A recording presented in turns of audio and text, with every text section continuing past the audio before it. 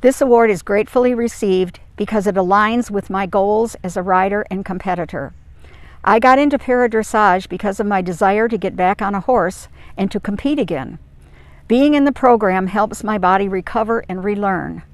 I was an able bodied rider before my illness, so it was natural for me. Being in the paradressage program has taught me many skills beyond basic dressage. It has helped me strive for consistency in competition and constantly improving with my well being. I am a consistent cheerleader for my teammates who are also working very hard to develop their abilities and skills.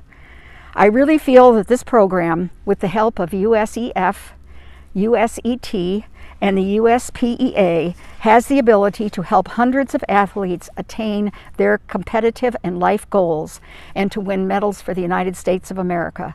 Thank you for this very special award.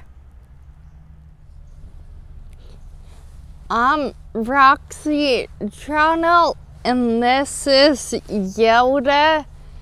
Thank you to the USET Foundation for this award.